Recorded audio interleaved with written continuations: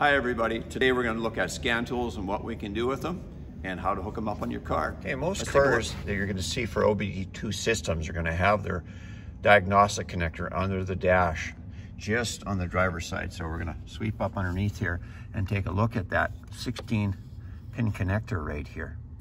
And uh, there may be the odd car that has them in a different location, but they're generally by design in that kind of standard area for most cars. So not necessarily pointing that that way specifically. Some are up a little bit at a different angle underneath there, but they're tucked in there generally in that area.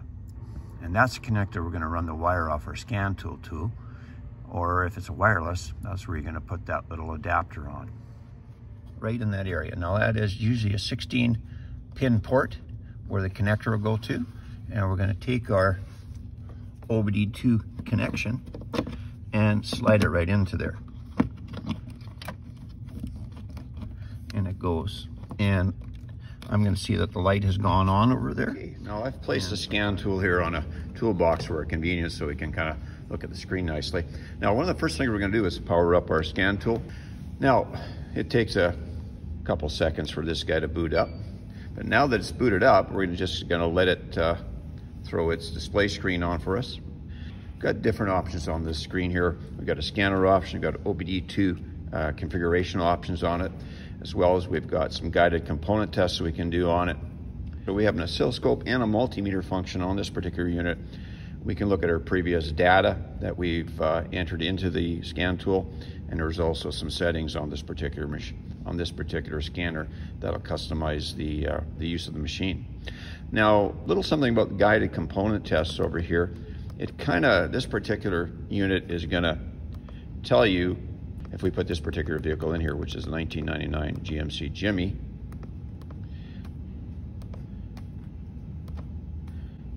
We can do specific guided tests on it where the, the scanner will guide us how to test specific sensors on there. In this case, if we're on the air pump, it'll tell us exactly some of the instructions to go through it. So it's a guided test on there. What most people use when using a scan tool is actually uh, collecting uh, trouble codes and, and looking at data stream and I'll point out how to do that. So we're going to go to scan mode in this case. Every scanner's got a little different way of getting there, but uh, first thing you're going to have to do is enter the data into the into the scan tool. So we're going to go and collect the information of the vehicle and its VIN number and all those things like engine and everything else that we need to input. So this is a 1999 GMC Jimmy and we're gonna go with automatic ID. This is gonna collect the VIN number out of the ECM, but we can also go manual ID if we choose to. We'll connect to it. Automatic transmission, that's correct, and it has no air pump. Okay, now we're connected here.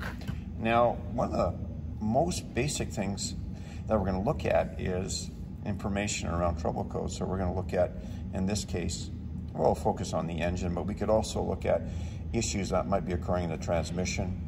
Uh, we might want to look at the health of the anti-locking brakes, the airbag, uh, body control module items, heater and air conditioning, uh, instrument panel cluster, and transfer case are all areas that we can investigate in here.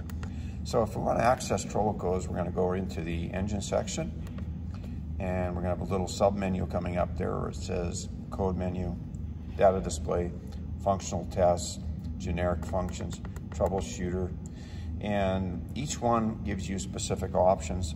But we're going to go into code menu first and display codes. Here you can see what we have in the manner of all powertrain codes. We could look at history codes, what's been stored in, in there in the past. Also, what's failed this specific ignition cycle. Generally, we're going to use that if we see a light go on. And what's the last thing that's coming up? I'll show in there. Um, malfunction indicator lamp.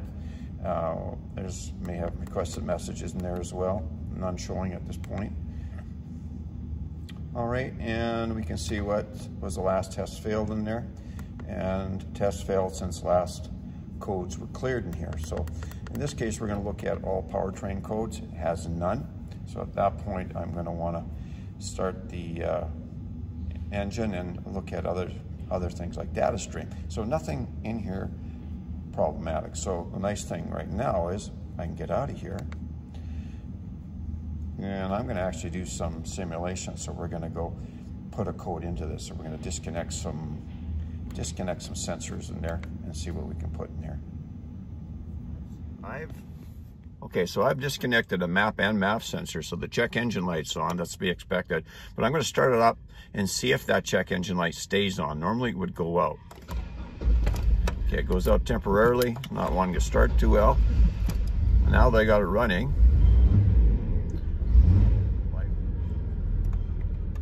Okay, we'll restart it and see if that check engine light goes on. And it's staying on. So we know that we've set a code in, in the uh, ECM. So we're gonna shut it off and we're gonna go take a look at what shows up on the scan tool. So now we're gonna go back here and we're gonna re-scan this and right away, as soon as there was something set up in here, it automatically picked up an issue with the map sensor and P107 map baro signal showing up here. Now our map sensor here is combining a map and baro sensor in one. That's why we're showing two signals on it. So right away we're able to see what area of the car has problems. And it's useful information because we know in fact that it is a mass airflow sensor issue and also a map slash baro sensor issue as well. Both make sense. Now this doesn't completely solve your problem. It tells you where to go on the car to, to fix the problem and you have to start then looking up the procedures on the manual to see the recommended process of getting to the heart of the problem. While we're here and it's running, we got those two sensors disconnected, what we can do is step out of this and we're gonna go look at some live data on those sensors. And we'll step back a little bit further. I don't wanna clear the codes yet, although I could. If I go to freeze frame records, we're gonna see at the time these codes were established, we can look at that information on there The site is going to collect the data when I pulled up that information and it's telling me when that when that information was pulled up with a mass airflow sensor is showing a signal of zero on there which doesn't reflect what it should be reading at that point.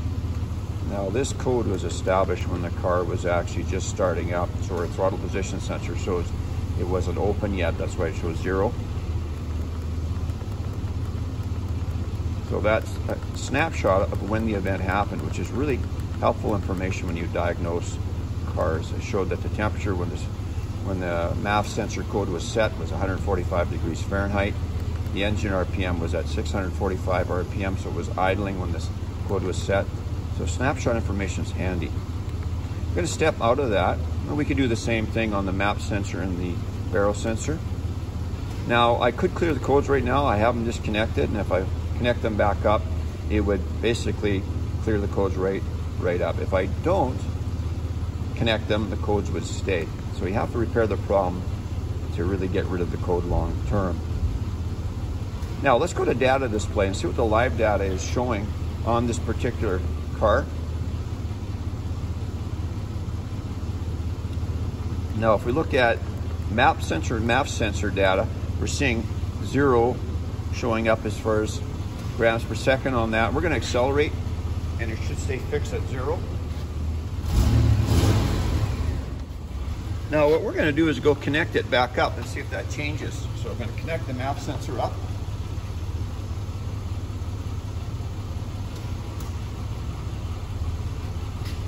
And we should start seeing an active signal on there. And we, um, we immediately do. It starts rising. So we got 5.89 grams per second roughly. And if we look at the map sensor, let's find it. Map sensor is showing a voltage of zero on it as well. So that's not an accurate uh, reading. It shouldn't be fixed at zero. If we rev it up, it's not changing. So let's connect the map sensor back up and see if we get data again.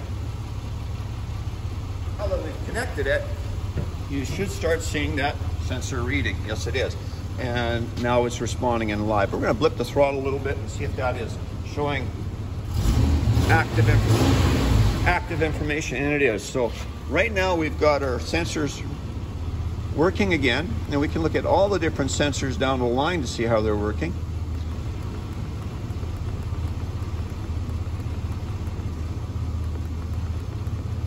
Coolant temperature is climbing. It's up to 188 degrees Fahrenheit at this time because it's warmed up.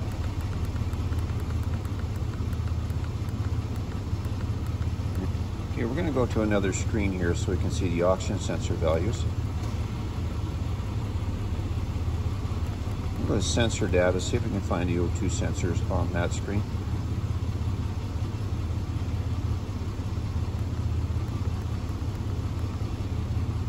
There we go. So now we're starting to see the voltage. Now if you remember me talking on the bench when we did bench testing for oxygen sensor values, when we brought um, the torch into the oxygen sensor and watch the voltages coming off, we've seen it sweeping from about 0.1 volts to as high as 1 volt. Now this is representing millivolts. So if you see, in this case, 100 millivolts, that would be 0.1 volts. Uh, 800, 850, 900, that would be uh, 0.9 millivolts. So you can see how quick and active those oxygen sensors are. And that is, on this case, oxygen sensor bank one, sensor one. So it's a front sensor, in this case on the driver's side. We got oxygen sensor, we should be able to find oxygen sensor bank bank two sensor one as well, and we do, it's sitting on the opposite side. And you can see that they're both really active.